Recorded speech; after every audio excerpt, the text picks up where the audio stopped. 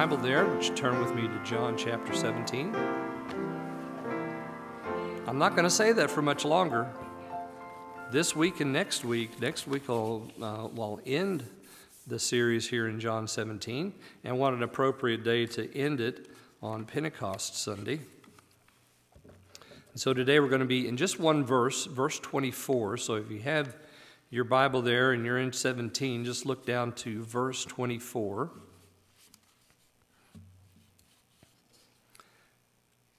So, the title of this series has been Christ's Great Prayer. Last time, uh, Jesus turned his attention to a new group of people. There in verse 20, we talked about that.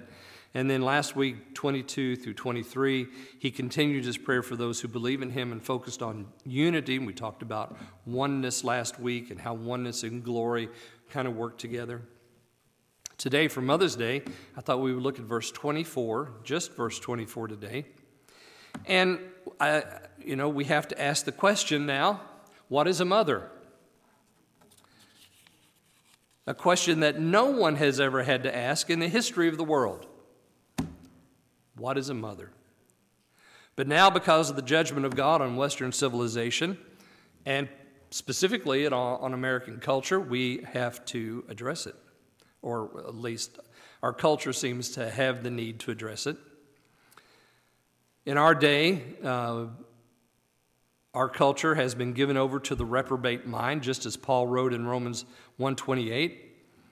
And even as they did not retain God in their knowledge, God gave them over to a reprobate mind to do those things which are not convenient. The reprobate mind is demonstrated in many ways.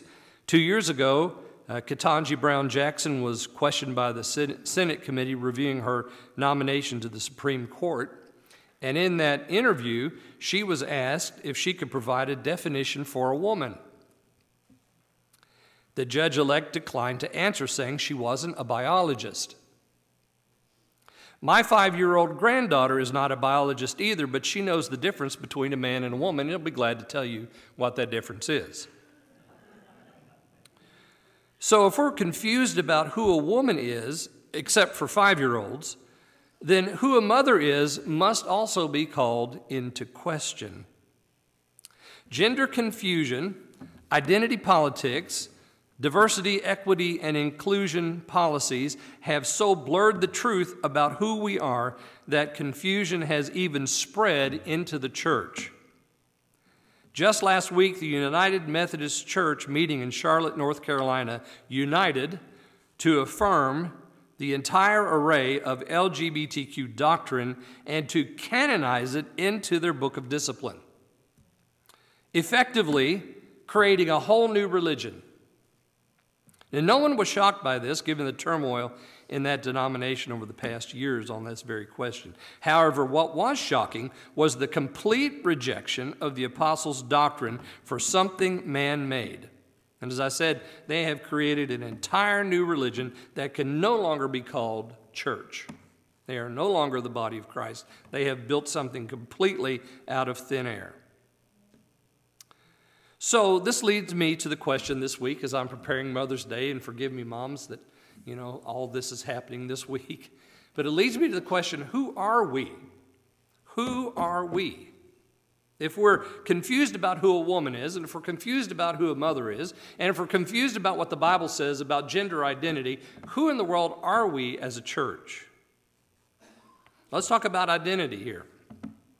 And so the title of the message today is Our Identity. What does the Bible say about who we are? This identity is more important than any other. So, whether you're a mother or a father, a grandmother or a grandfather, a man or a woman, a child or a grandparent, whoever you are in relation uh, to each other, who you are in relation to who Jesus is, is the most important thing. So let's dive into then verse 24. I'll read it and then we'll have a word of prayer before I make my comments. Verse 24, John 17. Father, I will that they also, whom thou hast given me, be with me where I am, that they may behold my glory, which thou hast given me, for thou lovest me before the foundation of the world. Father, we ask today that you would help us as we consider these issues of our identity. Show us, Father, what it is here that Jesus provides for us in this wonderful prayer. We ask, Lord, that you'd speak to our hearts today. Father, give me unction as I preach, and all of us ears to hear and hearts to receive the goodness of God. For we pray in Jesus' name. Amen. Jesus, you'll notice there in verse 24, he says, Father, I will that they also. So he's still in this, he's still in this prayer.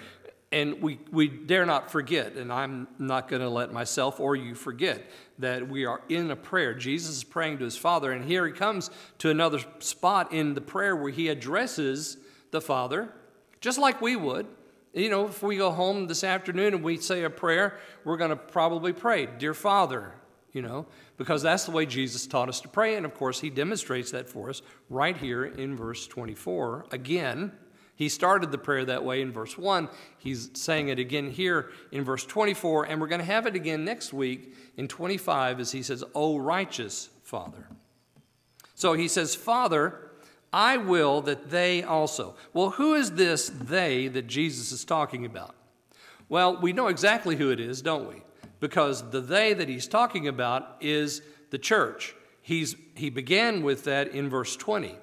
Neither pray I for these alone, but for them which will believe on me through their word. So the they is the church, and we have it, the very first they that he, he gives us is there in verse 20 those who will believe on me. So here's the first point in our identity. This is, and I have it in my notes as they number one.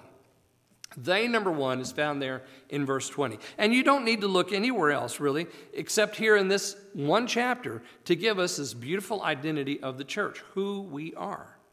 Those that believe. The people that Jesus was praying for are believers, the ones who believe in Jesus. You know, after Philip preached to the Ethiopian eunuch, uh, the, and he was preaching from Isaiah 53 there in the chariot. I always love that story. I can just imagine Philip trying to preach as the chariot's going along a bumpy road, you know, and he's, he's reading from the scroll and he's preaching Jesus to this man who's probably seated in the back of the chariot. And, and he's preaching Jesus, and the, and the Ethiopian eunuch says, Hey, here's water. What prevents me from being baptized?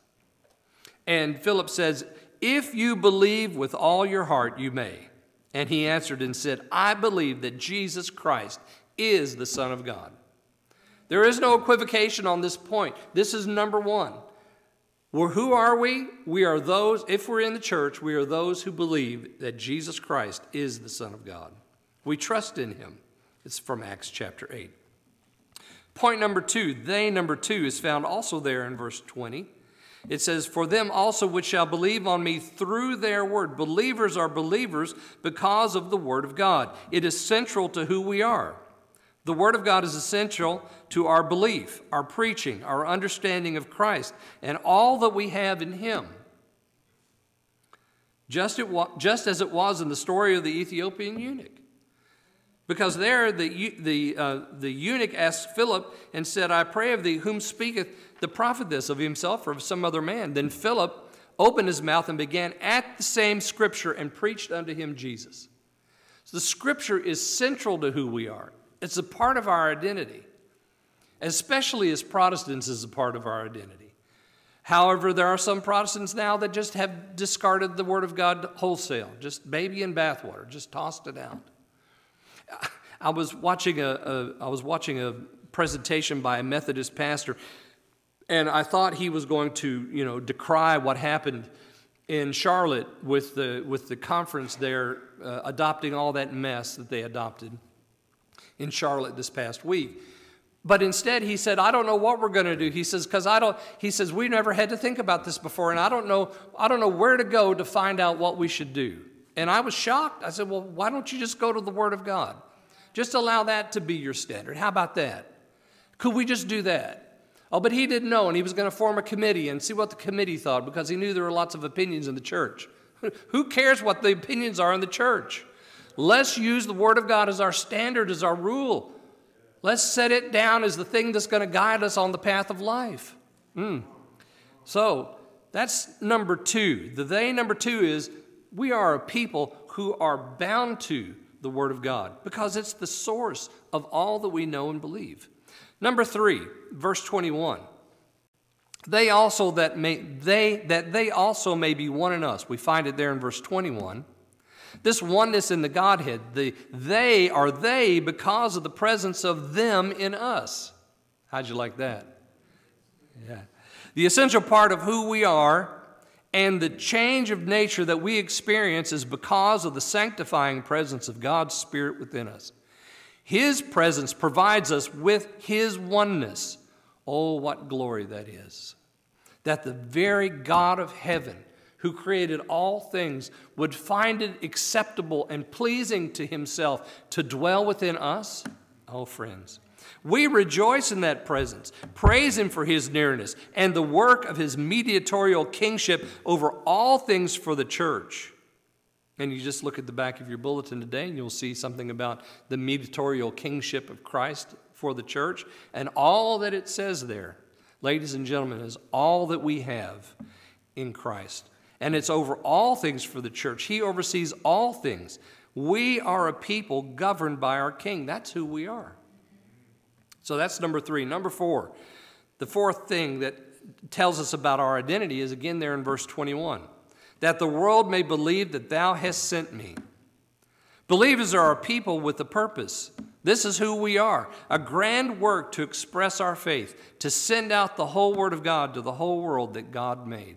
Now, that's a big uh, effort, but think about that little group of people there in uh, Madhya Pradesh, India little family group that's been born again and they start a home Bible study and they invite their neighbors. They're not trying to reach into America or Europe or Africa or Asia or anywhere else. They're just trying to reach those folks around them. And just that little group says, Hey, why don't you come over and we want to study the Bible together. Can you come and join us? And guess what? People are coming and they're hearing the Word of God taught. And when the Word of God is taught, what happens? Hearts are changed and a church is growing there because they their identity is a people who want to share that Jesus has transformed them and can transform their friends as well. Yeah, that the world may believe that thou hast sent me. That has been the heartbeat of the church forever. Always sharing, always going, always sowing the seed of God's word. And then he says there in verse 23, which is the verse right before where we are, that the world may know that thou hast sent me and hast loved them. We not only identify as a people that are sent out, not only as a people that are one with God, not only as a people founded on the Word of God, not only as a people who believe in Jesus, those are what we've talked about as identity, our identity, but now we see that we identify as a people who are loved because Jesus tells us so.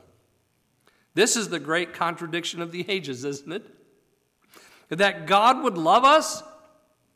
We are a people loved, and how is it that the love of God is expressed towards us? Well, Paul tells us clearly in Romans chapter 5 when he says, God commended his love toward us in that while we were yet sinners, Christ died for us. What a contradiction that he would love sinners and send his son to show his love for sinners by the son dying so that we might have life. Oh, my friends. Can it be possible? Can it be true? Can this thing be so that Jesus would die for me, a hell bound sinner, under the judgment and condemnation of God? Absolutely. That the world may know that thou hast sent me and hast loved them. And this is the message of love that God so loved the world that he gave his only begotten Son, that whosoever believeth in him. Now we go right back to the very first thing, don't we? Believe on the Lord Jesus Christ, my friend, and you will be saved. So, this identity.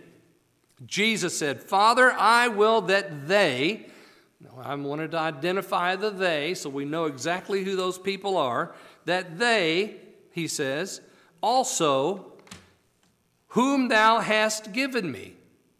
Now, here again, we have the agency of God. My very first message in this series from John 17 was about the agency of God. My first message, I talked about this important doctrine that everything in this prayer is rooted in the action of the Father. And here in John 17 24, we see that even our membership in the they, our membership in the church, our being a part of the body of Christ, is because of the action of God. It is wholly of God. And you just go to Ephesians chapter 1 and you can read more about that.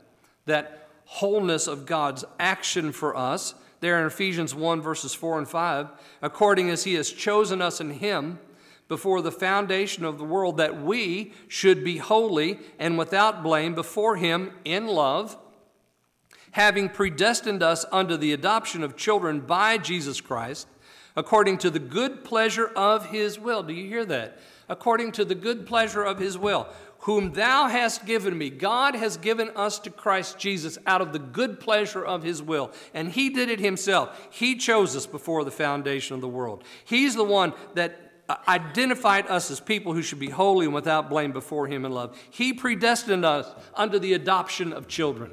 God is the one who has done all of this, and he's done it by Jesus Christ according to his good will and for the praise of the glory of his grace wherein he made us accepted in the beloved.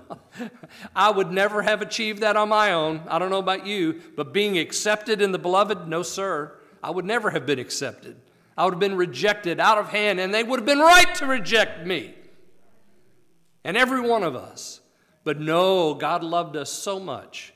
His goodwill towards us was that we would be a part of this thing called the body of Christ. That is who we are. Not only are we all the things that we talked about there in that first part, but we're also those whom God has given to Christ. Isn't that wonderful? We are a gift. The church is a gift to Christ by God. How beautiful that is. And then he says, Whom thou hast given me, be with me where I am. Be with me where I am. Where is that? Jesus told the disciples that believers have a place in him. You remember John chapter 14? You know I'm going to go there, don't you? Let not your heart be troubled. Ye believe in God, believe also in me. In my Father's house are many mansions. If it were not so, I would have told you. I go to prepare a place for you. And if I go and prepare a place for you, I will come again and receive you unto myself, that where I am, there ye may be also. Nice. Isn't that beautiful? Jesus wants us to be there. Be with me where I am. And where is He? He's right now in heaven preparing mansions for us. He's preparing a place for us because He wants us there. And one day we will be there with Him. Friends, do you know where your where is? You know, we talk about what we're going to do tomorrow and the next day and the next day and the next month and the next six months and the next five years and the next 10 years. We have all of our plans and we have it all mapped out until we, until we die. But then what's next? Have you planned that part too? Have you planned out what's next? The where that comes after the service? and after the internment? Do you know where that is? Because if you don't know that where, friend, your where at that point is darkness. There's no hope there. But if you're in Jesus and you believe in Him and you've trusted in Him, my friend, there is a hope for after the internment. And it is with Him because He wants you to be there with Him. He prays that to His Father, that they be with me where I am. Are you going to be there? Mm. We, ladies and gentlemen, are mansion dwellers. This is also a part of our identity. We might find ourselves in caves and holes of the earth in this life, wandering from place to place, finding no permanent city, no friendly faces to greet us. However, when He receives the church to Himself, then our permanent home will be enjoyed. This is who we are. And our future is filled with something wonderful. Notice what Jesus says there at the end of the verse that they may behold my glory. Now, Jesus showed forth his glory and the glory of God during his life. John records this in chapter 1 of his gospel. The Word was made flesh and dwelt among us, and we beheld his glory. The glory is of the only begotten of the Father, full of grace and truth. And then in John chapter 2, uh, you know, the, the feast, the wedding feast there in Canaan of Galilee, he says, This is the beginning of miracles. Uh, this beginning of miracles did Jesus in Cana of Galilee and manifested forth his glory, and his disciples believed on him. So you see, the, the, the disciples had seen something of the glory of Christ. And there, of course, in John chapter 2, when he turns the water into wine, the whole point of that story was the glorification of Christ and his very first miracle. And it is such a shame that people turn it into some kind of an excuse to drink alcohol. This is not an excuse for you to drink alcohol, this is an excuse for you to glorify Christ.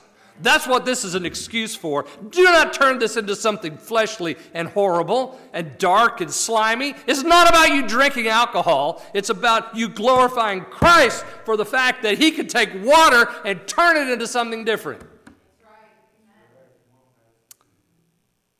But I digress. That they may behold my glory. But this wasn't the glory that we will enjoy. Jesus spoke of his glory previously in this chapter. Notice there in verse 5 in chapter 17, in verse 5, he says, And now, Father, now, O Father, glorify thou me with thine own self, with the glory which I had before the world was. Now, we talked about that. Uh, there in the very first part of that chapter. This is that pre incarnate glory that Christ and the Father had long before anything had been created. And we also see it in Revelation. The Revelator makes it clear what this before glory looks like there in verse or chapter 1 of the book of Revelation.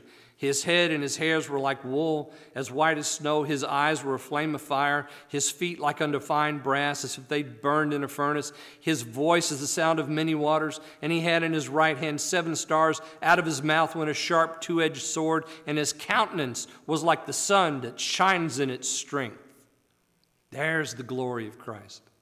Not only that, mm, well, if you'll allow me, let me turn over to Revelation again.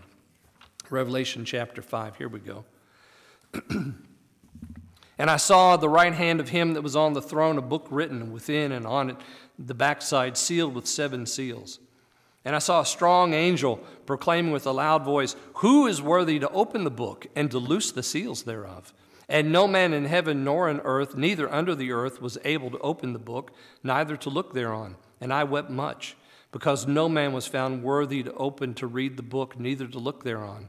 And one of the elders said unto me, Weep not. Behold, the lion of the tribe of Judah, the root of David, hath prevailed to open the book and to loose the seven seals thereof. And I beheld, and lo, in the midst of the throne and of the four beasts, in the midst of the elders, stood a lamb, as it had been slain, having seven horns and seven eyes, which are the seven spirits of God, sent forth into all the earth. And he came and took the book out of the right hand of him that sat upon the throne. And when he had taken the book, the four beasts and the four and twenty elders fell down before the Lamb, having every one of them harps and golden vials full of odors, which are the prayers of the saints.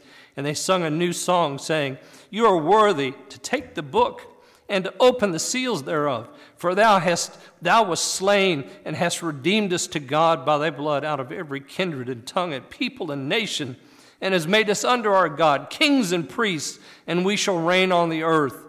Yes, friends, this is the glory that we will behold. This is what Jesus wants us to see. He wants us to glorify Him for all that He is. And we one day will see it when we're there in those mansions and we stand before the throne of God and we see the Lamb take the book out of the hand of God who sits on the throne. Be that day. And then Jesus ends here in verse 24 and says, Which you have given me. All the things that God has given Christ in this chapter, so many. Verse 2, he gave him power.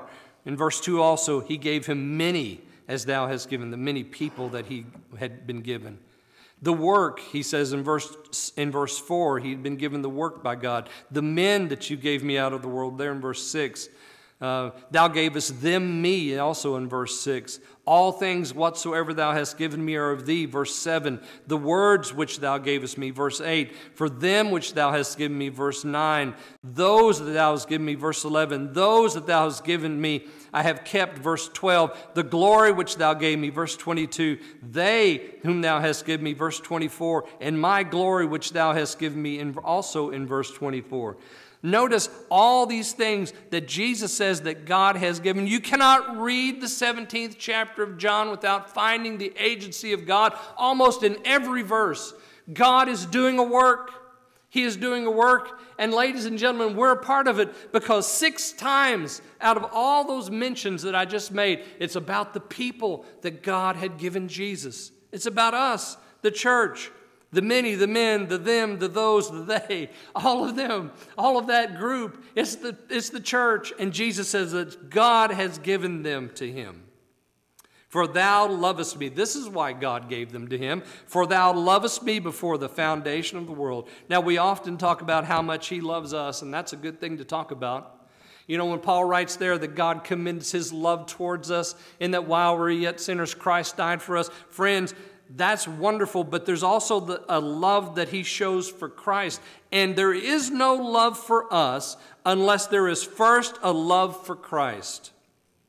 And this is the covenant that has been made between the Father and the Son before the world was, before anything happened, before any of us ever existed, before any of that took place, before Jesus framed the worlds with his words. No, before that, God and the Son, the Father and Son, made a covenant together, and this word love is a covenant word. And they made a covenant so that there might be a people that God might show his love towards through Christ Jesus. Because he loved him, he now loves us. The before statements are featured prominently in this prayer. The first one, he says there in verse 5 and now, O Father, glorify thou me with thine own self, with the glory which I had with thee before the world was. This tells us about the pre incarnate Christ and his glory and eternal existence. But the second one that we have here in verse 24 describes the covenant made for the salvation of the elect. In John chapter 10, verse 17, John describes this, uh, this theme of the love of God for Christ Jesus in several places. One is in John 10 17, another is in John 15 9 through 10. Jesus told his disciples about the Father's love for him. He says, Therefore doth my Father love me, because I laid down my life that I might take it again. There's that covenant that they had made together. And then in 10 and 15, verse 9, as the Father hath loved me, there it is again, so have I loved you. Continue ye in my love. If you keep my commandments, you shall abide in my love, even as I've kept my Father's commandments and abide in his love. Yes, the love of God for us is wonderful, but it begins with his love for Christ and the plan that they made together to save men and women, boys and girls, so that there might be a new people called the church. So, how do we apply this 24th verse, moms and dads? Well, number one, we're talking about our identification. We are believers in Jesus Christ. We trust in him according to his word. Number two, we are keepers of his word.